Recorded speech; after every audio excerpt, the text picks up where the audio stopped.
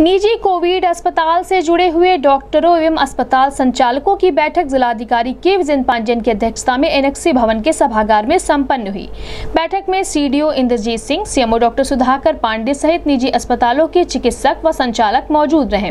बैठक में कोरोना संक्रमण पर प्रभावी लगाम लगाने के संबंध में चर्चा की गई तथा बीआरडी मेडिकल कॉलेज के डॉक्टर राजकिशोर सिंह द्वारा कोविड नाइन्टीन से बचाव और उसके प्रबंधन पर विस्तृत जानकारी दी गई। इस संबंध में गोरखपुर न्यूज़ से बात करते हुए मुख्य विकास अधिकारी इंद्रजीत सिंह ने कहा। जो हमारे हैं, उनकी ब्लड सैंपल करने के लिए जो आईएमए के द्वारा सहयोग हमें दिया गया है, उस सहयोग के कार्यरूप और प्रारूप पर बात करते हैं। तो और आईएमए के कई लोग उपस्थित हैं, आप सबका स्वागत है, सर। विशेष रूप से हमारे आईएमए के प्रेसिडेंट मनवीर सर आपका स्वागत है। सभी टीम यहाँ मौजूद है आरआईटी के रूप में। फ़ील्ड में काम कर रही है। बहुत सारी परेशानियाँ वो झेल रहे हैं। अभी आ रहे हैं। आपकी छोटी छोटी समस्याओं को भी वो हैंडल करेंगे। मैं आपको ब्लड सैंपलिंग और होम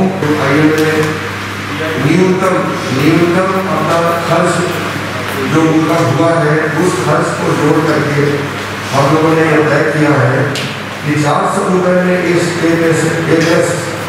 रैंडम कराया हुआ है।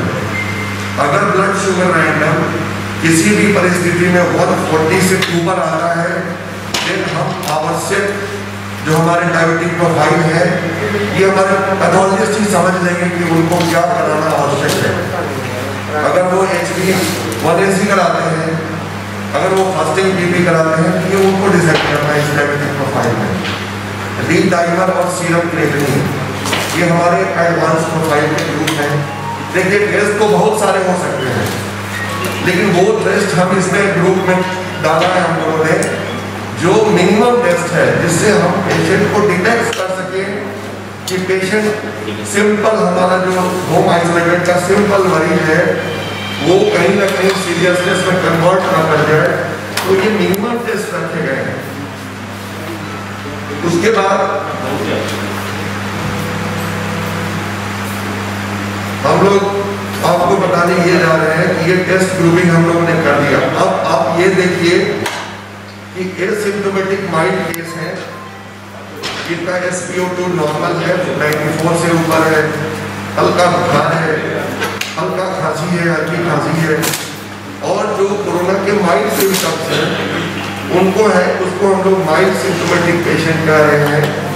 और उस पेशेंट में हम बेसिक प्रोफ़ाइल जो हमारा सीआरपी है, जो हमारा रैंडम ब्लड शुगर है, जो हमारा सीबीसी है, ये तीन टेस्ट कराते हैं।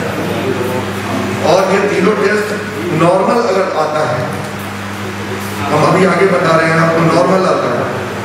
सिम्टोमेटिक पेशेंट जो हमारे हैं, उनको हम लोगों ने ट्रेनिंग किया कि उनका एस पी एफ़ नाइन्टी से कम हो जाए। परसिस्टिंग हाई फीवर हो फाइव डेज़ तक फीवर उसको रह रहा है, या उसको ब्रीदिंग में डिफिकल्टी हो रही है, या उसका ब्रेक शॉर्ट हो रहा है। अभी डॉक्टर राजकिशोर सर आ रहे हैं। आपको डिटेल्स बताएँगे सारे सिम्टम्स के बारे में कि आपका अलर्ट कहाँ आपको हो जाना है। तो आपका एडवांस प्रोफ़ाइल टेस्ट कराने हैं। हमने बताया था आपको एडवांस मुश्किल होता है में फ़ीसदी लोग अपने आप नहीं हो जाते घर हमारा चिंता तो दो फ़ीसदी लोग हैं। उन्हीं के वजह तो है ना कैजुअलिटी और डेथ बढ़ रहा है और इंपॉर्टेंट इसका वजह है जो क्लासिफिकेशन ऑफ़ केसेस यानी वो डिग्री किस ग्रेड में जो उनका सीरियसनेस है, उसका मौके पे आप आसानी नहीं करेंगे। आप, आपका निर्णय के ऊपर डिपेंड करता है, वो आदमी बचेगा, नहीं तो पे रहेगा। है ना? ये इस पे आपका कोई डाउट है, आप ज़रूर पूछ लीजिए ताकि पहले सीधे सीधे दो तीन पैरामीटर आप लोग लेते हैं जानते हैं। फीवर है, फिर ऑक्सीजन सैचुरेशन का इनका यदि नाइन्टी के ऊपर है तो फिर ठीक है नाइन्टी के नीचे गिर रहा है एटी के आसपास तो ठीक है, वो दो पैरामीटर है, ठीक है, वो गोल्डन टेस्ट है ठीक है, मान के जाए बट अभी का वेरिएंट है ना, वो थोड़ा अंदर है, उस पर बहुत लोग इन्फेक्शन के बाद फिर फीवर आ रहा है। और कुछ लोग उसके सीधी नहीं लेते हैं, इसलिए नहीं लेते, इसलिए पता नहीं लगता है। बट यदि किसी के पास इन्फेक्शन है, किसकी इन्फेक्शन है विद इन फाइव डेज़ या सेवन डेज़ ब्लड में सारे पैरामीटर बिगड़ जाता है। ब्लड इज़ इंपॉर्टेंट जो पैरामीटर है। इसलिए जो इम्पॉर्टेंटली जो नंद कुमार जी ने बताया, यदि आप ब्लड टेस्ट कहीं ना कहीं करवा लें उसको आजकल तो इसलिए तो बहुत एजेंसी का हमने लगा रखा है इवन आ रहा है आपके साथ हम एल देंगे।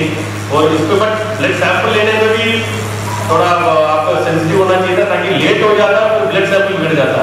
तो अगले हो जाता, उसी वजह सैंपल तो बिगड़ जाता है। अब उसको जो सैंपल लेके जो आपको उसी हिसाब से तय करना होगा, कितने जल्दी पहुंचाना है, उसको कोल्ड चेन रखना है, जो भी वो उसका प्रॉपर हैंडलिंग ऑफ़ सैंपल वो बहुत मैटर करता है। उसके वजह, बिल्कुल जो रिज़ल्ट उल्टा आता है, उसके वजह जो उपचार भी चेंज हो जाता है। इसलिए जो कलेक्टिंग ऑफ़ सैंपल है, बहुत इंपॉर्टेंट है। जो आपको एल का आप लीव करा दीजिए, आपके साथ जो भी आता है वहाँ पे जो घर पे और भी लोग होंगे। मान लीजिए तो तुरंत आज इन्फेक्शन हो गया तो इंक्यूबेशन पीरियड में बहुत लोग होंगे। पाँच से सात दिन के बाद उनको कोरोना पॉजिटिव होगा। अभी टेस्ट भी करेंगे, कुछ निकलेगा नहीं। इसलिए जल्दीबाजी में चेक करने की कोई ज़रूरत भी नहीं। आपको वहाँ तय करना होगा किसको चेक करना है, किसको चेक नहीं करना इम्पॉर्टेंटली जो सात साल के ऊपर है कंडीशन जिसके बीपी डायबिटिक है, उन्हीं तो चेक तो करना ही है तुरंत। ताकि उनको हम तो समय लेस नहीं कर सकते हैं। यदि उनके पास, उनका हल्का फुल्का भी थोड़ा सिम्टम है और इसका कोमार्बिड कंडीशन है, उनको तुरंत चेक करा दीजिए।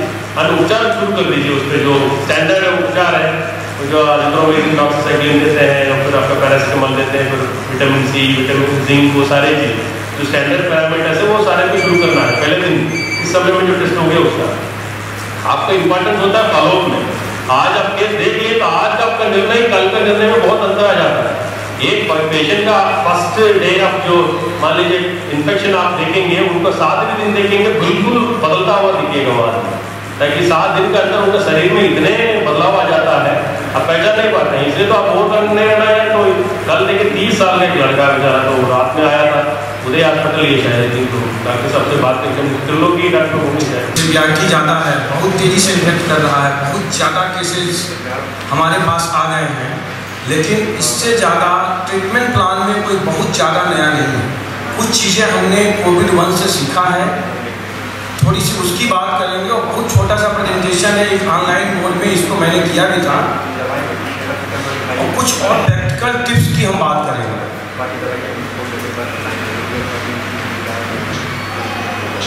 सबसे पहला काम क्या करना है? कैटेगराइज और कोविड पेशेंट। और इससे भी पहला काम क्या करना है? हमें जंग, फॉल्स, फैब्रिकेटेड लिटरेचर के पीछे नहीं पड़ना मैं देख रहा हूँ, हमारे Bihari faculty group A group association of physicians के ग्रुप इवन आईएफपी के ग्रुप में कई बार बहुत सारे जंग लिटरेचर पोस्ट हो जाते हैं। कभी मुझे समय मिलता है तो मैं उसको ज़रूर लिखता हूँ कि नहीं, ये जंग मैं आपको एक एग्ज़ाम्पल देता हूँ कि अभी सेवन अप्रैल को एम्स की गाइडलाइन एम्स का लोगो करके एक व्हाट्सएप पे वायरल हुआ है एक गाइडलाइन आप लोगों में से हमको लगता है कि 90 परसेंट लोगों ने उसको देखा होगा। सात अप्रैल 2021 की एक एम्स की गाइडलाइन है। आप लोगों ने देखा उसको? करीब करीब हर ग्रुप में देखा आपका सब आपने व्हाट्सएप में किसी को मिला है सेवन अप्रैल वाली एम्स की गाइडलाइन हमारे भी फैकल्टी ग्रुप में पोस्ट हुआ हमने उसको देखा। उस पर एक लाइन मैंने पढ़ा कि S C Q S reintroduced in guideline और इसी बात पर मुझे संदेह हुआ कि ये गाइडलाइन फॉल्स हो सकती है।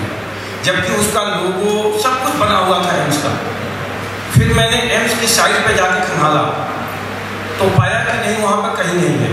फिर मैंने एम्स के फैकल्टी हैं डॉक्टर खनिश उनसे मैंने बात किया फ़ोन से कि डॉक्टर साहब, ये कैसी गाइडलाइन है जो आपके फ्लोट कर रही है? उन्होंने कहा कि नहीं, डॉक्टर साहब, ये गाइडलाइन हमारी नहीं है। किसी ने फॉल्स गाइडलाइन बनाई है। इवन मतलब मेरा वीडियो चलाया जा सकता है और आवाज़ किसी और की हो सकती है या मेरी आवाज़ में मेरा वीडियो चलाया जा सकता है।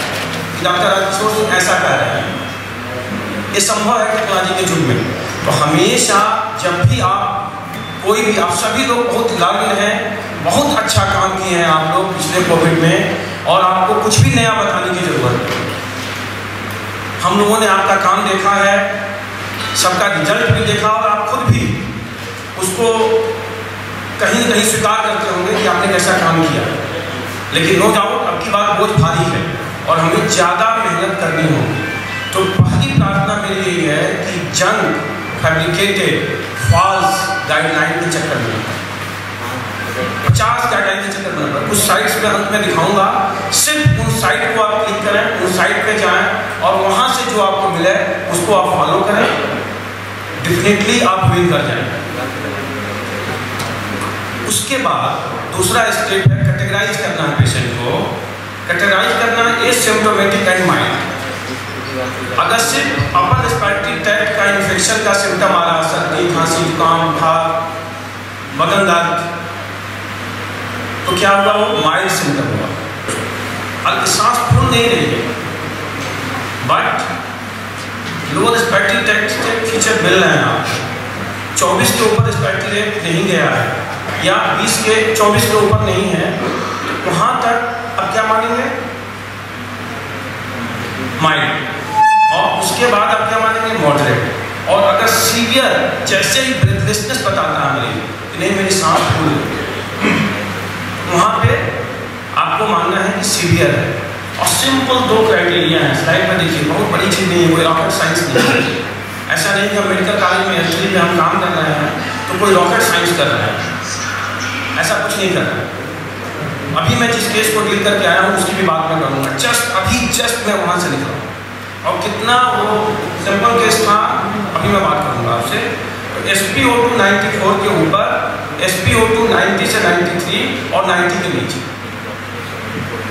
और एस पी ओ टू कैसे चेक करेंगे? मान लीजिए कोई मरीज़ ऑक्सीजन पे आया, उसका S P O two ninety eight है। तो उसकी आप कैटेगरी क्या कर देंगे? माइंड उसकी कैटेगरी कैसे डिसाइड करेंगे?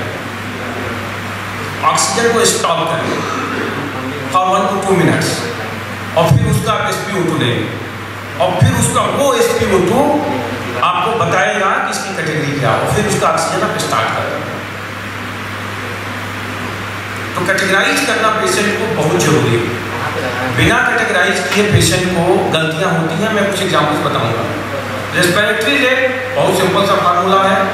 तीस के ऊपर है, चौबीस के नीचे है माइल्ड चौबीस से तीस के बीच में मॉडरेट हो गया और तीस के ऊपर है तो सीवियर हो गया तो कोई रॉकेट साइंस नहीं है।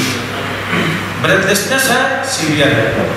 अपर रेस्पिरेटरी ट्रैक्ट का केवल इन्फेक्शन का सिम्टम्स है माइल्ड है। ठीक?